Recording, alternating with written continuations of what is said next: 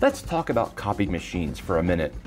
When you make a copy of a document, you have an original copy. That first copy is called the first generation. Whether you make one copy or a thousand copies, they are all first generation copies and they look exactly alike. Now, if you lose the original for some reason, you start making copies from the first generation, you now have a second generation copy. Now, if you lose the original and the first generation copy and start using second generation document to make copies, you're going to have a third generation copy. And it goes on and on and on from there. Let's say one day someone puts a check mark on your third generation copy, and then you start using that as your original. All documents going forward will have a check mark, and everyone will assume it's always been there. Let's say your child draws a ball on a fifth generation document, and you start using that as an original all documents going forward will have that check mark and a ball, and people in future documents will assume that has always been there. Well, then the neighbor draws a picture of his dog on your fourth generation document, and you start using that as an original. All copies going forward will have dogs. I think you get the point.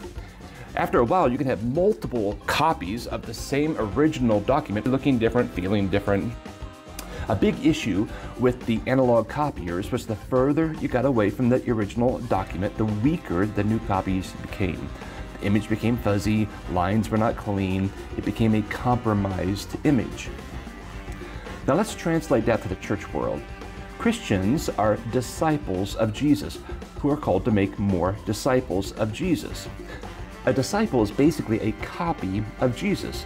We try to live like him, try to talk like him, look like him, act like him, and in turn, we're to make more disciples, more copies who live like him, talk like him, act like him, who will make more disciples, who will make more disciples, and so on and so forth until Jesus comes back.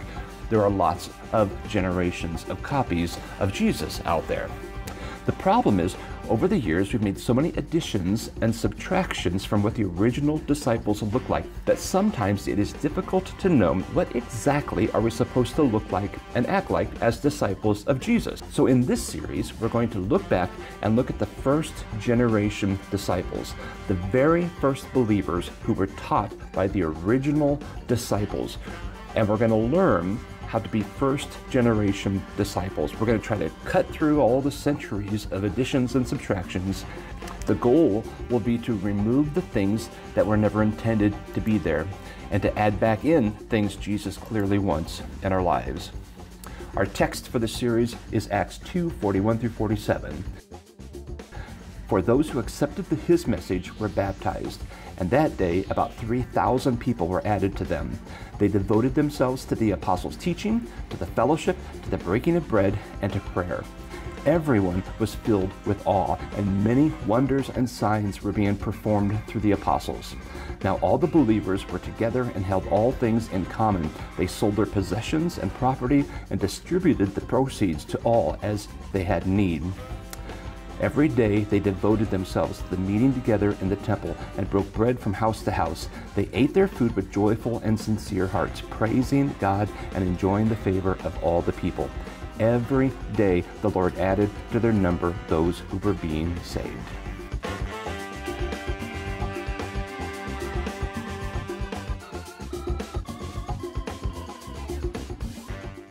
All right, so we're going back to the very beginning, looking at the first original disciples, the first generation disciples, uh, wanting to duplicate what they did.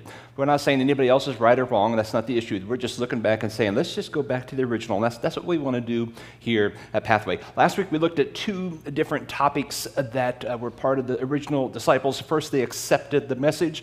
Uh, Peter gave this message uh, that they had sinned, uh, they had killed the Son of God.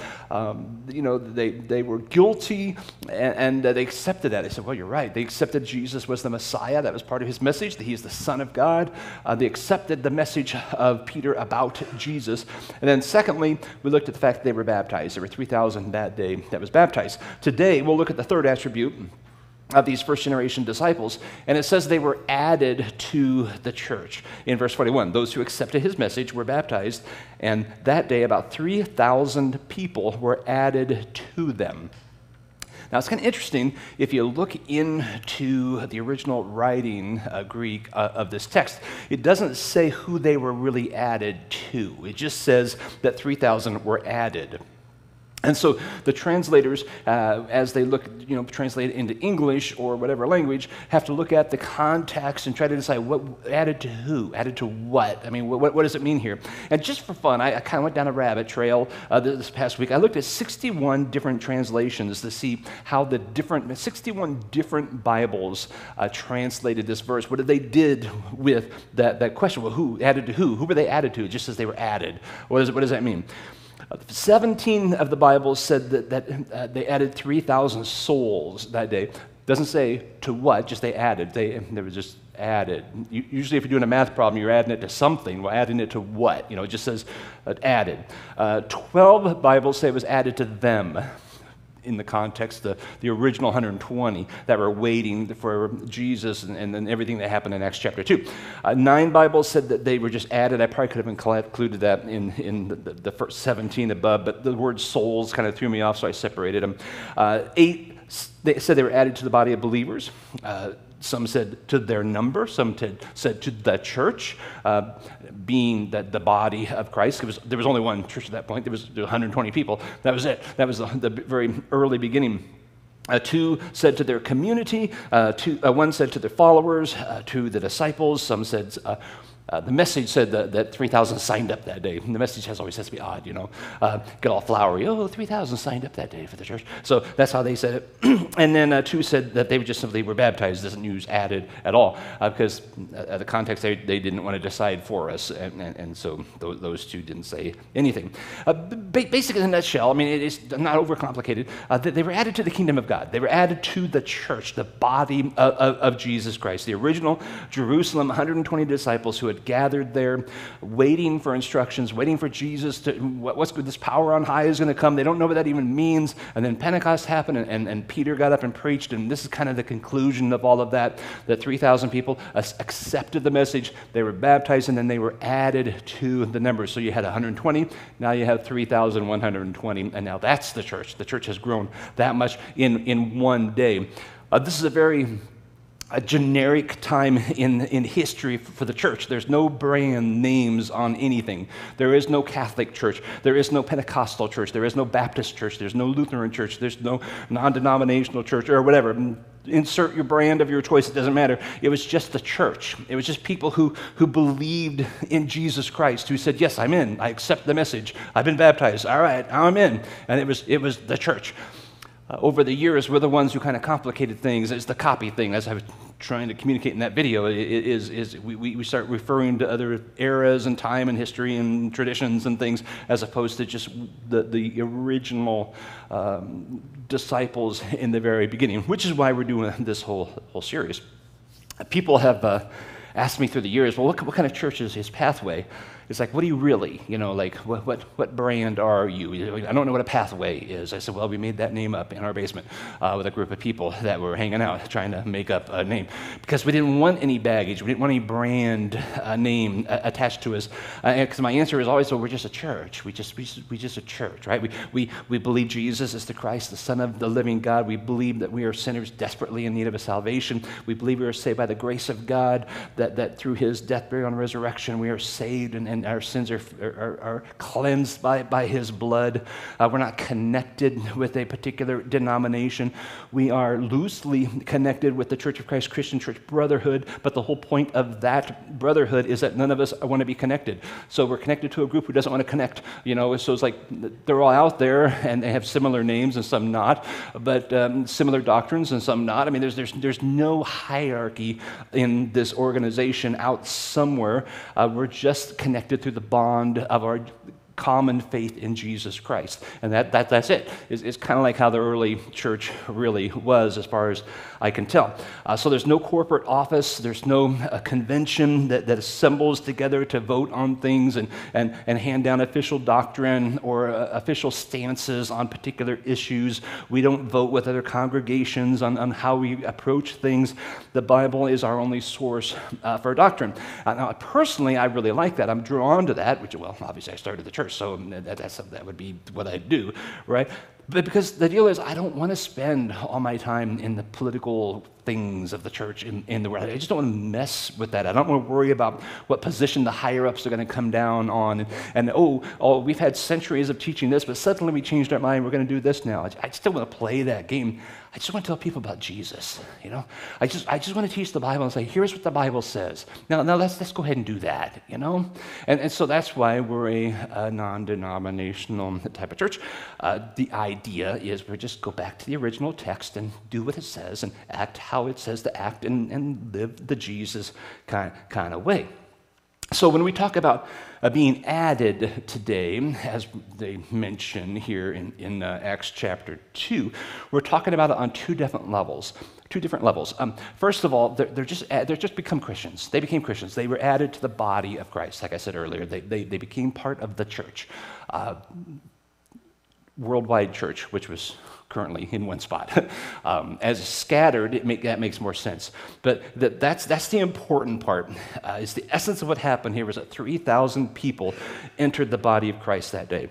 Uh, secondly, when we're talking about uh, adding, being added today, we're going to look particularly at this particular body, Pathway Church, because I don't have uh, any bearing on what's going on with the church down the road or across town or across the nation or even in Africa where we planted a church. I mean, I don't know what's going on there.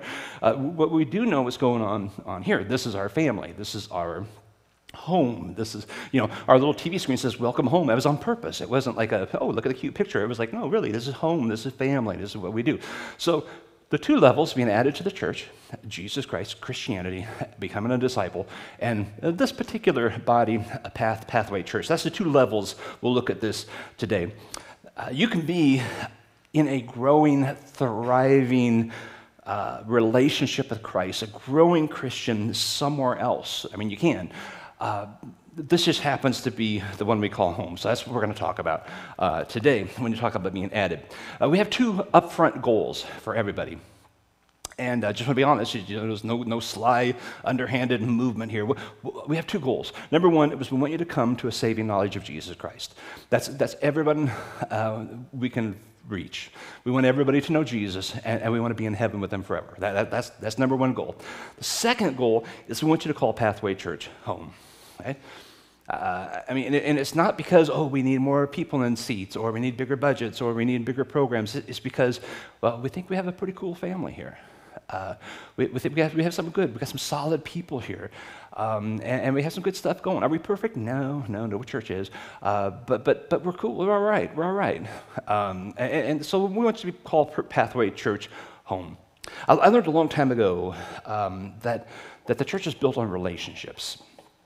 I mean, you can have uh, the greatest music uh, that there is. You can have the most dynamic preaching out there. You can have solid biblical doctrine at the core of your church. You can have great leaders in all areas of the ministry. But if people don't like each other, if there's no relationships being built, the church won't last. Uh, every community has, has uh, periods of time where one church rises up and it's the cool church, and then it kind of fades away. Then a new church comes, oh, they're the cool church. And, and it usually has to do with, oh, they have cool music or they have cool preacher and he has tattoos and skinny jeans. And, and you don't want to do that here. Uh, yeah, not, not, not, yeah, we don't want to go there. Um, uh, that would drive people away. and, and, and, so, you know, oh, have, they have the cool programs and all, they have blimps and you know, whatever. Um, and, and it's like, if, but they only last a while if they're solid relationships aren't built. On any, in any church, that, that's the case. And so our focus is not becoming the next megachurch. Our church, our focus is uh, do you know Jesus Christ? And hey, do you want to make this home? And, and every, whatever else, else happens, happens. We, are just not going to worry about it. We just want to be solid in, in those areas. Um, so it, it's important that we uh, intentionally. Uh, develop relationships. Because we could just pour a whole bunch of money and, and, and just bring in a crowd. Uh, and I don't know if that does anything other than it makes us the cool church for a while. Uh, we intentionally never did that. Um, we're, we're, trying to build steady and slow and, and, and with relationships. A, a few years ago, someone uh, wrote, or I don't know if I heard, I can't remember if I read it or heard it, but they compared relationships that people have uh, to three different levels of relationships to rooms in a house. I remember it's, it stuck with me all these years, so I remember what it said, but I don't remember who said it. It's not my idea. I didn't come up with it, so I can't give them proper credit. So I'm just saying somebody out there did this, uh, and yeah, they must be really smart. Uh, I do like what it said because uh, it, it's, it's pretty simple, and we really used uh, these principles to, to design a lot of the ministry and, and, and programming that we do here at Pathway based on this idea. Uh, the first level of relationships they identified as the, the doorstep relationship. The doorstep uh, is a place uh, of, of introduction, right? It, it's a place you don't know the person who's on the outside. They're just some creepy guy. They're just a stranger who came up and they knocked on your door. Uh, it's where you talk to strangers, where you kind of vet them a little bit to see, do I trust you enough to invite you in? Do I know, I mean, do I know why you're even here? Um, when I was a teenager, I used to deliver newspapers, and this is me as a teenager. It's weird. I haven't aged a bit. Um, I, I, I, delivered the newspaper, and back then, uh, you had to go door to door to all of your subscribers and collect, collect money. And so I'd come up with my little, little collection thing, and I'd ring the doorbell. And, and uh, if a child came and opened the door, they'd be like, it's the paper boy, you know, because they were hoping it was, I don't know, a present or a friend or whatever. And if a, a, an adult opened the door, they'd see me and they'd go like, uh, you know, I was like, I gotta pay you money. And no one wanted to see me, right? I mean, no one was all like, oh, I'm so glad you're here. Come on in, have cookies. You know, it, it was none of that. It was like, you stay there and I'm gonna go get some money, maybe. Or I'm gonna come back and say, oh, I'm all out, come back next week, which I was really happy to hear. Um, and, you know, but, but that's, that's where you put people who are in, I, they didn't know my name. They, they, I didn't, they didn't even, they didn't know, they weren't awake usually when I delivered the the newspaper. It was early, uh, and I'd, you know, drop it neatly exactly where they wanted it and everything, but they didn't know who I was. They had no idea. So there was no relationship a- at all. Um, so, so I bet a good, a good 98% of the people kept me out on the doorstep, even if it was raining or cold or whatever. They didn't care because I was just some creepy kid uh, there wanting money from them. There's generally three reasons you keep people on the doorstep of your house, but also of your relationships, right? Uh, one is, is the house is messy. They don't want you to see it, yeah, right? That you're just, you're just think, you just want people to assume you live really clean. They don't want you to come in and see dust bunnies and stuff piled up on the table and whatever, the dishes in, in the sink. We'll do that with people too. I want you to assume I have my life all together. I'm not messy, nothing's going on, so I won't let you too far in. I'll keep you uh, at a distance until I feel like I can trust you to tell you my deeper things. So we'll keep people uh, off at bay on, on the doorstep. Uh, another reason is they don't know if they like you or not. That's fair. I don't know you, so maybe I don't, maybe I don't even like you. I mean, I'm going to keep you out on the doorstep so I can kind of vet you a little bit, kind of figure out are you here to rob me? Are you here to sell me something? Are you here because you care about me? Are you here because you really only care about you? I mean, what, what's going on? Uh, the longer I was a, a paper boy, the, the more homes I started getting invited to because I just kept coming back, you know, month after month, whatever long, I remember it was a week, month, must have been once a month. And, and, and, they got to know me. They're like, oh, it's this guy, come on in, you know, here's a cookie. And I was like, oh, we're, now we're friends, you know. Um, but, but the initial stage was definitely on the, the doorstep. And, and a third, did I say three? The, thir- the third reason is they just don't like you. Maybe they don't like the way I delivered the newspaper. They keep saying, I want it in the milk box, and you never put it there. I don't like you. Uh, there was one person, I may have gone through a phase where I thought it'd be cool to throw the, the papers from my bicycle, and it did include breaking someone's window. Um, that was fun. Uh, they never invited me in. so they're already like, no, you've already destructed it. You know, you destroyed our property. We don't want you in here. I know I don't want you in here. We'll do that with people too. There are some people you might just not like. You don't want to hang around them. You can't wait till they leave. You just keep them uncomfortable, and they'll just go away. That, that, that's just life. Sometimes it happens. Keeping people on, on the doorstep over the years, we have had, uh, I can say, thousands of people who have been on the doorstep of, of Pathway Church. Um, I, I, was kind of revisiting old software. I wasn't actually looking at software, just rethinking uh, of the software uh, a few weeks ago uh, of the original database that we had. And I, I remember we got up well over 2,000 families that had been entered in it. Um, now, a lot of them moved, but a lot of them just said, nah, I don't think so You know, I mean, and that's fine. We're not for everybody. Uh, some people come to the doorstep and say, I don't know if I want to come in. Um, I don't like the music, don't like the preacher, don't like the programming, whatever. There's something that, you know, uh, I'm shopping and it doesn't fit my list. Okay, that, that, that's fair. That, that's fair. That doesn't happen.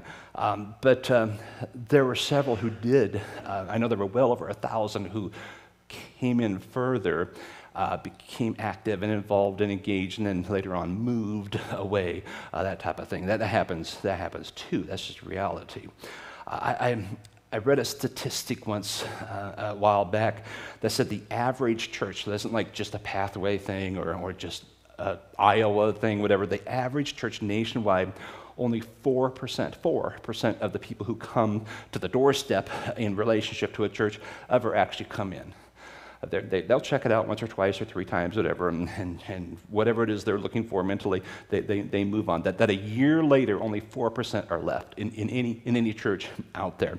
Now, some of that could be the church does things poorly. They don't assimilate well, they don't have a plan, they just kind of hope things happen, nobody has conversations, nobody talks to anybody.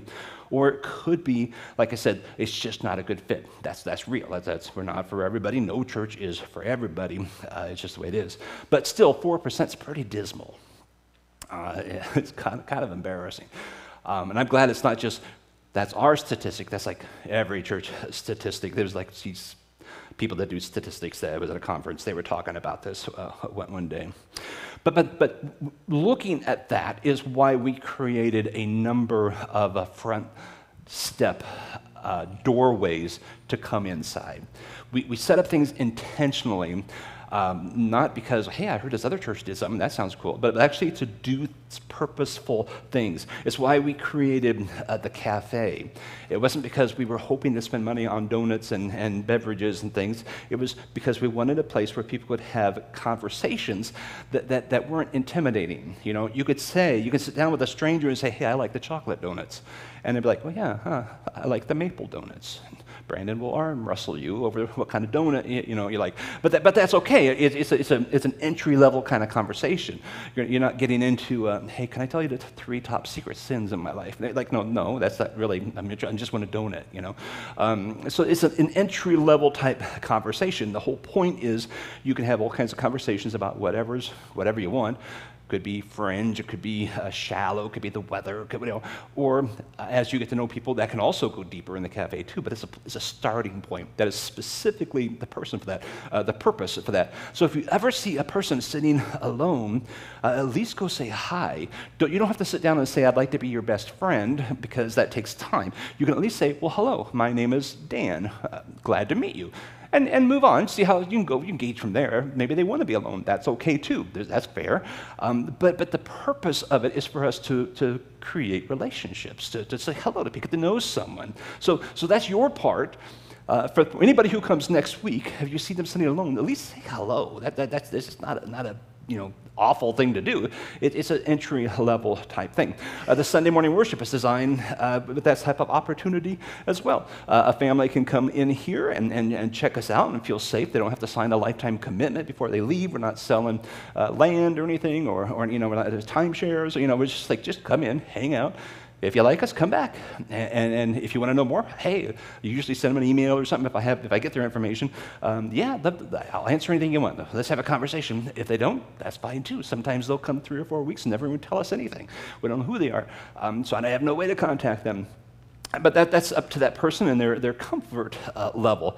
But uh, Sunday morning is a time you can have uh, engage in uh, pretty light conversations. Have you ever again been in a super deep conversation on a Sunday morning? I mean, it's possible, but generally speaking, this, this isn't set up for that. We're facing each other's back of our heads, we're looking up here, we're singing, we're, you know, we're doing that kind of thing.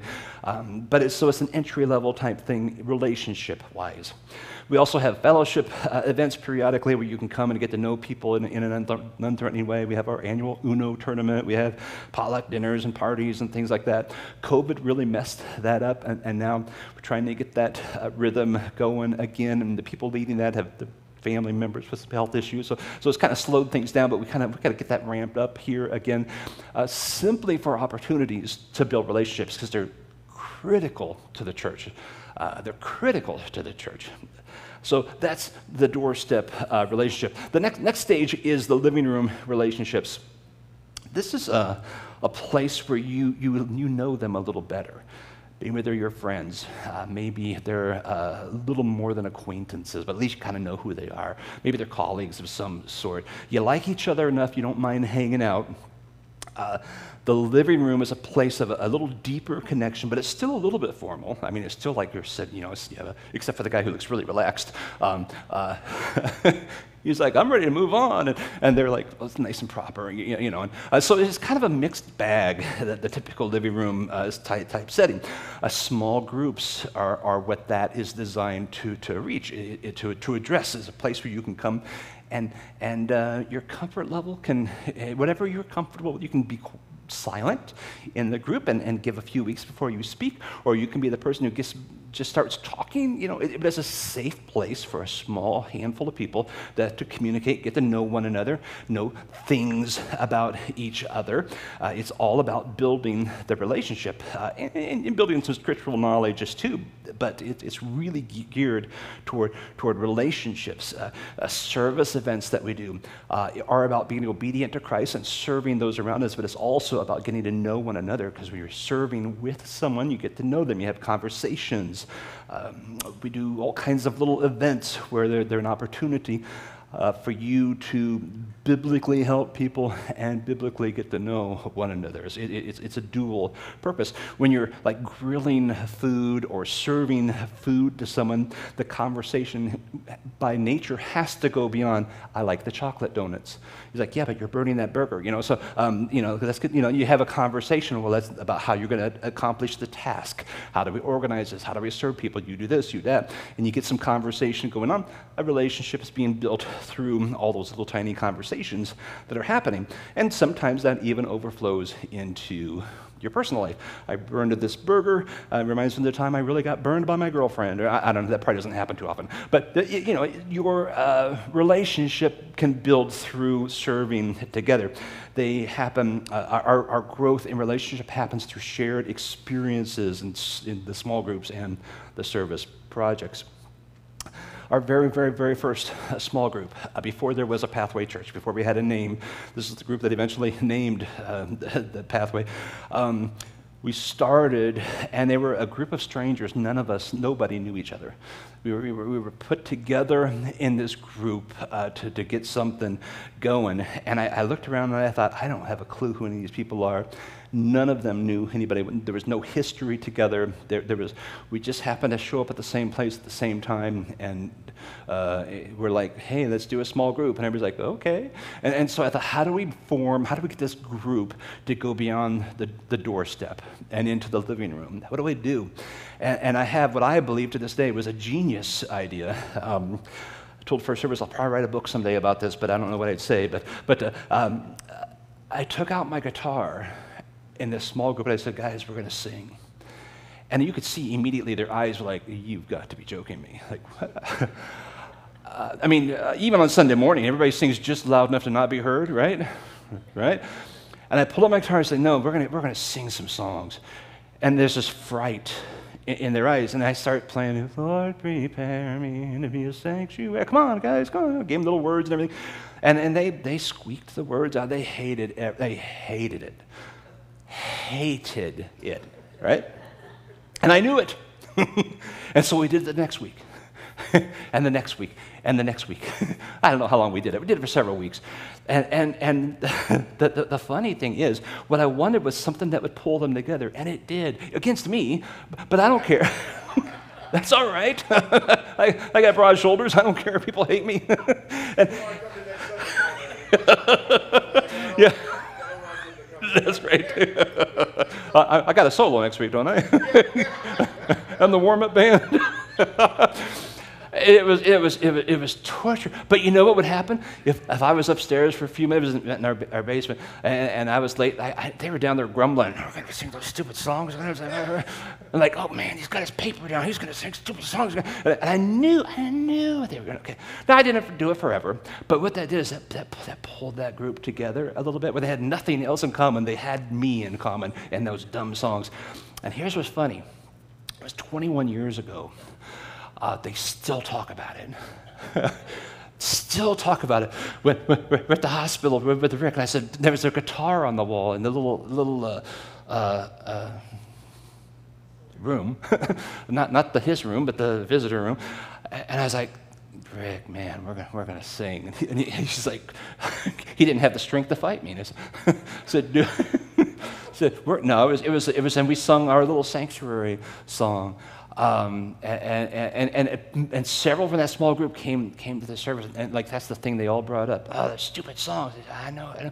But you know what that did is that that, that pulled that did did help it pulled us together. It got us immediately out of the front door into the, to the living room where we could ha- have conversations that, that, we still talk about now. It's just a joke because I was just, you know, I'm not a good guitar player nor I'm a good singer. But um, uh, we, we had some, some fun with that. So we can't force programs, you know, on you to, to, to make this happen, but it, it's, it's a, it's a, uh, it helps. These, these little experiences that we share to, together help. In living room relationships, you engage in deeper conversation with each other than, than you do at the doorstep. You, you learn people's struggles, you learn their fears, you learn their successes, you learn their joys, you learn what's going on in their life. You're developing these deeper relationships. Some of the classes that we have are designed not only to teach, but also to build relationships with one another. The Getting to Know Pathway Church classes, it's, it's kind of like, hey, we're all in the same spot. None of us know each other. And like, well, let's kind of start this journey together. It's about starting to build some relationships, the growing in the Christian faith class, which is what started, launched that uh, small group in the first place, is a four week class where we talk about some very, very basics. And then it just kept going and became Pathway Church. Uh, we have a Discovering Your Spiritual Gifts class. We did that in June. Uh, that's a six week thing, but we narrowed it down to one Saturday morning. Um, part of that was all about shared experience. Now we can, hey, what gift do you have? How are you serving? And, and it gave us something to talk about. It builds relationships. So there's a dual purpose to it shared experiences where relationships are, are formed. And once you have a number of shared experiences and you keep doing it you know, sharing experiences together, the bonds start running deeper. That's when you go through the next doorway and the level of friendship, and that's the kitchen table relationship. Uh, this is where uh, the kitchen table uh, is like where family hangs out, right? Or really good friends. You don't invite anybody into your kitchen uh, unless you're like, you're, you're, you're, uh, you're good with them. you, you know, um, the, the, the, paper boy doesn't come in and sit down at the kitchen table for a conversation, generally. Uh, this is something you have, have to earn. You, this is where you relax. This is where your defenses are down. This is where you allow yourself to talk freely about what's going on in your world the hurts, the joys, the pains, the, the sorry, everything. You can laugh, you can cry, you talk about life. All of that happens at the kitchen table. My, some of my most, to this day, most favorite, memorable times of teaching people scripture have been in the kitchen table, literally, of their home where they said, I'm struggling with something with you. Come over. And I come over, and they're like scooting breadcrumbs on. I'm sorry about that. Hey, man, don't worry about it. And they go, let's talk about scripture. And we, we get into scriptural issues. And because at that point, I don't care that there's breadcrumbs on the table. That's not going to be like, well, I'm not going to talk to you. You know, you got to clean your table before I come over. Um, I'm not worried about if there's dust bunnies. I'm, I do not care if there's a stack of books on the counter or bills over there or what, you know, whatever's going on in the kitchen. I don't care. I'm there to see them. And it's a personal, deeper relationship. Uh, you can't force those on people. You can't make it happen. Uh, they just kind of happen. But we do do our best to foster those by giving uh, opportunities. People who've been in the same small group for a long time, year after year after year, shared experiences, they uh, tend to develop these type of, of relationships. Our, our CAP, Christian Accountability Group, uh, where there's usually one or two people talking like accountability, real personal stuff, those develop that kind of relationship because you're talking about things that you wouldn't tell people normally, you know. And I've given someone permission to say, hey, uh, what's going on really in, in your life? And, and there's a, it's a, usually no, long, no bigger than three people. Uh, so there's a really close knit group that's formed through the, the Christian accountability groups uh, that we have. Uh, these are the people, your, your kitchen table people, are the people that show up for you when you're in the hospital. They're the ones who show up for you when you lose your job. They're the ones who you go to for advice and for counsel when you're struggling. And you just need someone to, to, to cry with or to, to laugh with or to, to whatever. They're, they're the ones you go to. They're the closest in your life. You've developed that level of trust. It's the kind of relationship I think about when I read 1 Peter 1.22, when he says to love one another deeply from the heart.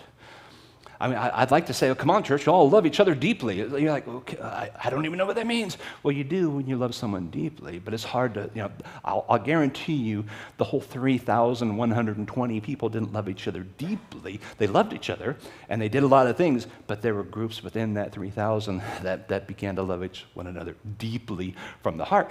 That's the that's the goal is we want to have relationships like that in our life where we have that type of, of bond together.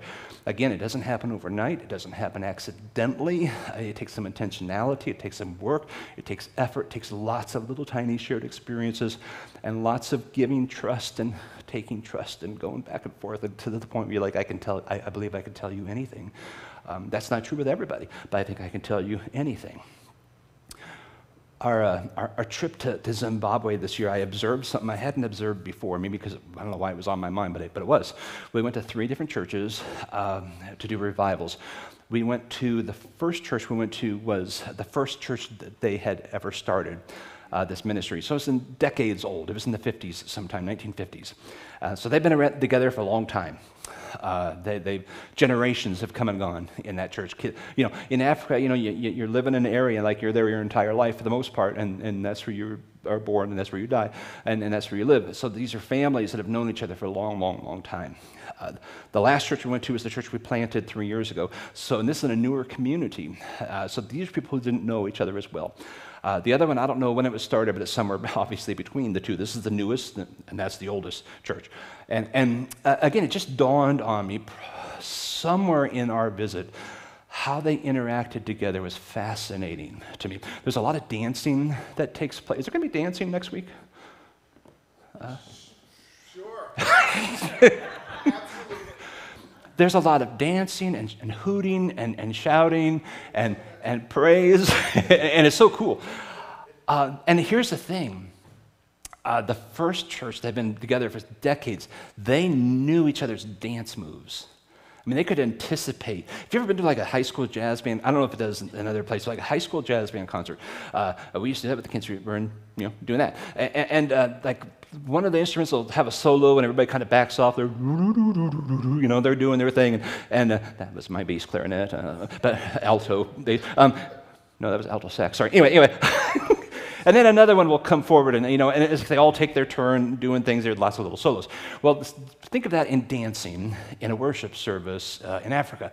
And well, you saw me with my moves there. I had to look at my feet because I had to watch the guy's feet next to me, you know, doing his thing, uh, because they have the different little foot moves and the leg moves, and they do the arm thing, and they do all this stuff.